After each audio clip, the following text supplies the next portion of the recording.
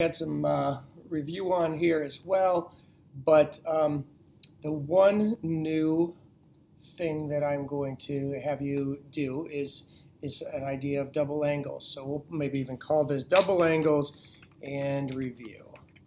So pretty pretty um, straightforward question.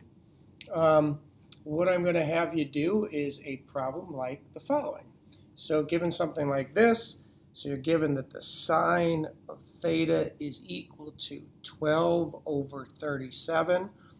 Um, find the cosine of 2 theta.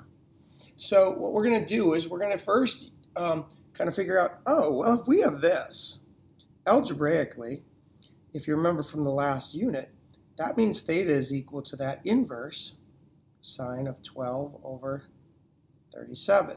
Remember that undo, you undo the sine with the inverse. So now with this, we know that this is just a number. And what I can do with it is I can take that whole thing, this whole thing can be plugged in for theta right there, and I can do it on Desmos. So what I can do for my answer on this is I can just take this and go, okay, I need to figure out the cosine of 2 times the sine inverse 12 over 37. And I'm going to do the, the, the uh, I'm going to get Desmos calculator to do that for me. If you do it, if you uh, um, watch the videos that they might show on Delta Math, they're not going to do it this way. And you're welcome to do it the way Des Desmos does, or Delta Math does it, but this is the way I'm going to do it. So I'm going to go over here, um, and I am going to just type in Remember, you can type in cosine, open a parenthesis, um, 2 times.